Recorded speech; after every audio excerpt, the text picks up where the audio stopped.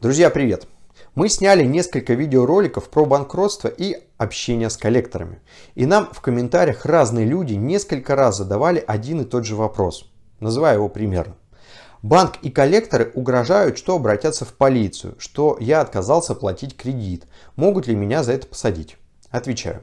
Полиция может возбудить в отношении вас уголовное дело только в том случае, если вы представили в банк подложные документы и благодаря этому получили кредит и не стали платить по нему.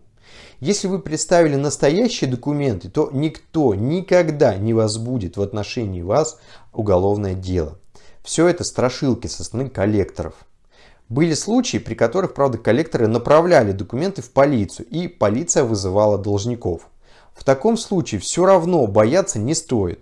Полиция обязана отработать по каждому обращению, поэтому можете смело общаться с ними, все равно коллекторы получат отказ в возбуждении уголовного дела.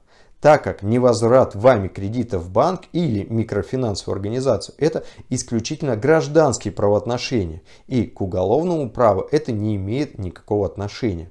Поэтому полиция сама отправит банк или микрофинансовую организацию, либо коллекторов в суд.